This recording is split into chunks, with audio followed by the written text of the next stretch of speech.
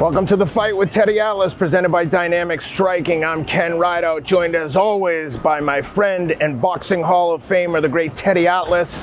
Today's fight plan is brought to you by our friends at MyBookie. Check them out at mybookie.ag. Use the promo code Atlas for a 50% credit on your first deposit. We're back home today in the Trinity Boxing Club in Lower Manhattan. We're going to break down the Canelo Alvarez versus Dmitry Bivol fight. I'm looking forward to this one.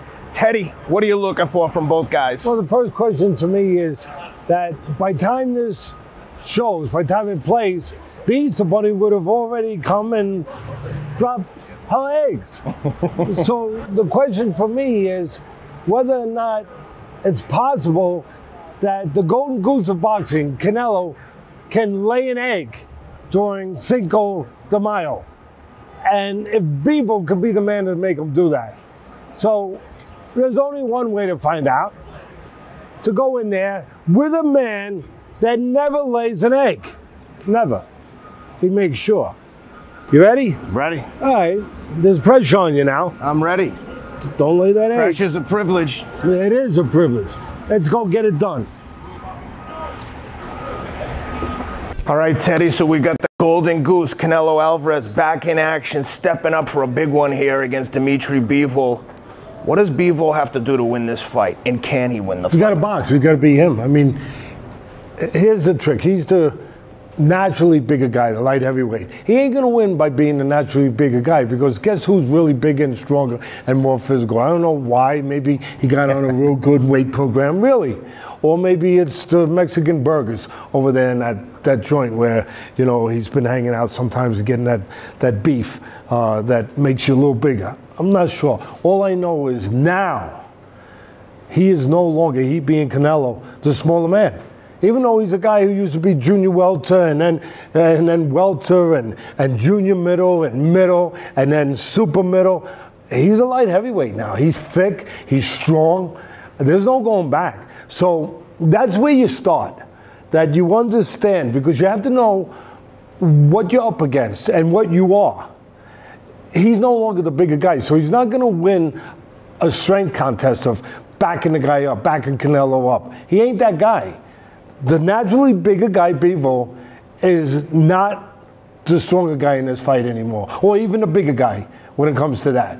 So he's going to have to outbox him, and that's his temperament. That's Bivol's nature anyway. To be cautious, to be careful. He's really he puts a clinic on technically, where he goes in and out. There's two things that he needs to win this fight, and they are his greatest assets. His legs. I know you got good legs, right? That's why you're here. That's why you're here. His legs and his jab. That's that's what wins for Bivol. And of course, his mind. He's very cerebral. He's smart. As I said, he's technically he puts a clinic on. He likes to go in and out.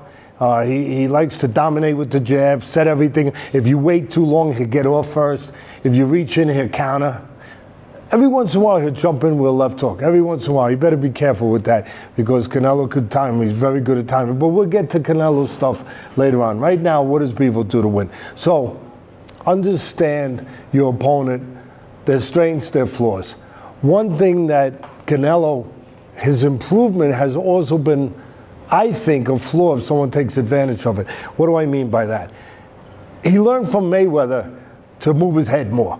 And he does. And he's improved, Canelo. He's done a tremendous job. He really has. And sometimes he'll get himself either in the middle of the ring or near the ropes where he'll put on that kind of defensive clinic like a Mayweather did. Almost like he's showing off like he likes it, you know? Yeah. And he, he's, but he goes defensive too long, a little too long without throwing back. That's one of the spots that Bivol's going to win this and get a decision, which in itself isn't going to be easy, being that he's the golden goose with these judges. If he's going to do that, he's got to take advantage of such things. Matter of fact, go here, go go right against the ropes. So he's he goes in. You know how to go into that Mayweather mode, the dipping and doing and slipping and sliding. What when he's there, he's got to take advantage of that moment to steal the moment on the judges' cards, to move his hands, get his hands up, put them together. Now he might miss some because the head's moving, but the body doesn't move. So bang, bang, bang, bang, and then step to the side, bang, bang, step to the side off of it. Why? So he can't counter back. So again, when he goes into that juking and duking on the ropes like that, looking real good, move your hands, bam, bam, go there, bam, step to the side, bang, so he can't counter back. Take advantage of those moments. Score some points. Get to the body a little bit. If you do that, well, say a prayer to the, that the judges are fair to you too. That might not hurt. But if you do that consistently, and you also use your jab, you got to dominate with that jab. You got to dominate with it, in and out, do some countering, show them a little count. Where I'll use the jab, I'll get out. Sometimes I'll either leave you behind or maybe you'll reach with the right hand. Maybe I can entice you to reach a little bit. He's good technically, but he'll reach once. Go out and go, bang, bang. He's good at countering. In other words, know who you are. In and out, smart. Don't stand your ground with him too long. There are like little spots where if he's standing in front, bang, bang, bang, but then get out of dodge. All right? You do that again. Still say a prayer that the judges don't rob you. That's how Bivol wins. All right, Teddy, we talked about what Bivol has to do. What does Canelo have to do to get the victory against uh, Bivol? As always in this sweet science, know what you're dealing with, know what your opponent's strengths and weaknesses are. And for that, in the strength department, that starts with Bivol, his jab, and his legs. Take away one or both of those, you got a damn good chance of winning the fight because he's a boxer. And no better way to take some air out of the radios than to go down here to the body. So that's one thing. Uh, and I'll show it real quick, where obviously Canelo, he's a good body puncher. And he doesn't waste too many punches. He's, he's always usually pretty good with his legs in position to throw solid shots and now he's put on that bulk. Uh, he, he's a he was always a decent puncher. He's a better puncher, a better puncher now. So whether it's to slip a jab to to get in position, or it's whether it's when Bivol is defensive, whatever it is, like throw the jab at me. Uh, no, throw it straight. Throw there. Go ahead. So slip, so bang, go get throw them. Oh, bang, go to the body. Whether he gets him to jab and he slips it, he goes down to the body, but something to take the air out of those tires so he doesn't continue to motor wherever he wants to around the ring. The other thing that Canelo has to be cognizant of is that he's he's very good at timing. He doesn't get enough credit for this actually, where he's got a good instinct, a good sixth sense of your will, Canelo, where he'll kind of get a little bit in the pocket or just a little outside the pocket even. And if you're throwing punches maybe quicker than him, which guys are faster than him, some guys, uh, he will time you, not match you, but with the punch at the right time. There's a science to that, where you throw not just any punch, you throw the right punch at the right time. So there'll be spots where Bivol likes to use his legs, likes to go in and out, likes to use his jab, and after he goes in and out, he likes to come in real quick, like go out, he'll come in real quick, and then he'll throw a real quick combination. Yeah, boom, boom, boom, good. Make it a combination, three punches.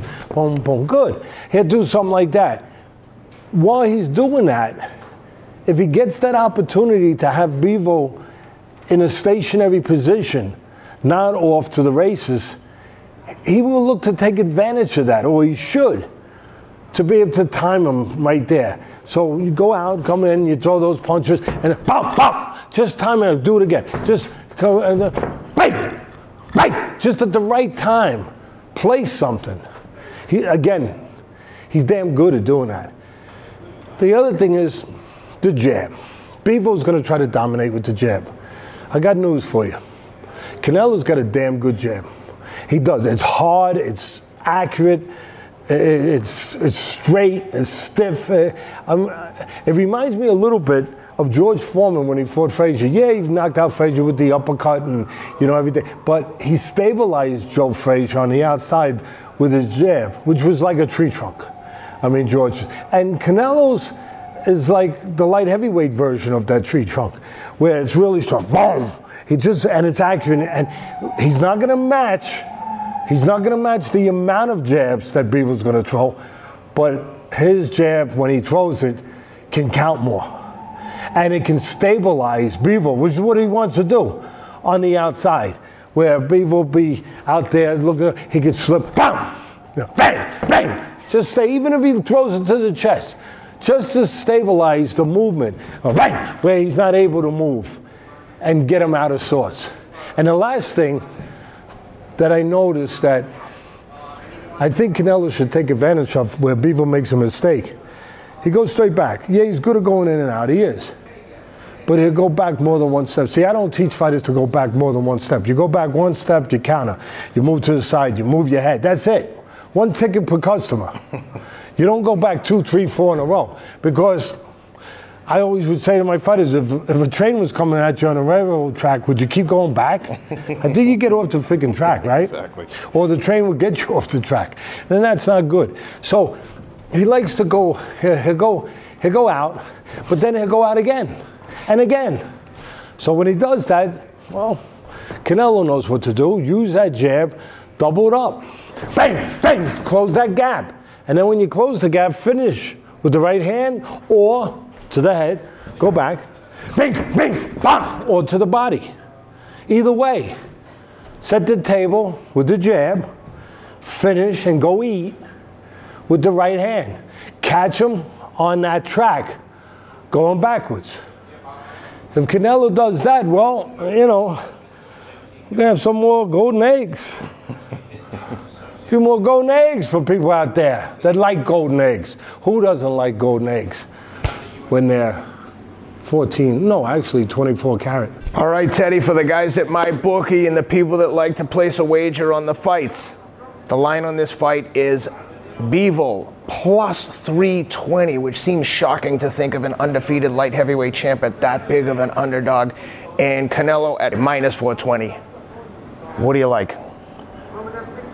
Well, listen, I'll take a shot. I think, I think at the end of the day, I'm not surprised it's so high because it's one thing to beat him in the ring, Canelo, the Golden Goose, right? It's another thing to beat him with these guys that sit over here with the pencils in their hands. You know, that's that's another one. Yep. that's the Thrilla in Manila. Yep. That that's what that one is. So I understand it. Um, I'll take a, but I'll take a leap of faith or a flyer, whatever you want to call it, at, at those odds, I'll put a couple beans. You know, you don't want to bet with anything that you can't afford to lose.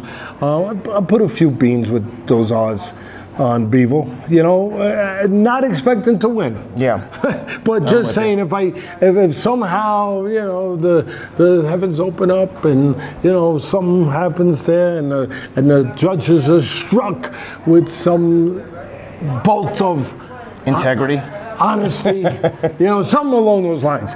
I'll, I'll, I'll be there to collect. Uh, is there an under over? I haven't seen one posted yet, but let's assume it's probably nine and a half rounds. At nine and a half rounds, what do you think? Over under? Oh, if it's that, uh, it makes it easier for the over because I would think if they did come up with a line, it'd be even higher. Yeah. I, I, would think it would be like 10 and a half. Okay. And so if it was that, I'd definitely go. Either way, I, I would give a shot. Uh, listen, it's not, I could see Canelo possibly stopping him. Uh, he's like I said, he's a he's a big guy now. He's a good body puncher. He's improved a lot. He knows how to time you. If he could take away the legs and the jab uh, to a certain extent of Bivol, he's got enough time to get to him. But I'm I'm going to say that I think it goes rounds. Bivol's a really good boxer. He's a champion of his own right.